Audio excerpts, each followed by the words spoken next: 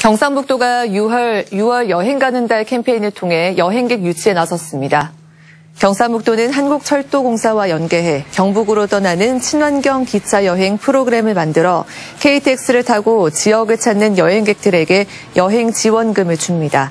KTX 이음과 경부선 KTX를 타고 지역 7개 역에 도착해 여행하며 관광지 입장료와 숙박 요금 등을 결제하고 영수증 인증을 하면 최대 2만 5천 원의 지원금이 충전된 레일 플러스 카드를 지급합니다. 초등학생 이하 어린이는 만 원의 지원금을 주고 전체 철도 승객에게는 운임 10% 혜택을 줍니다. 경상북도는 기차 여행 지원금을 받으려면 코레일 홈페이지나 코레일톡 앱에서 경북 관광 탭을 클릭한 후 이벤트 상품을 통해 열차표를 예매해야 한다고 밝혔습니다.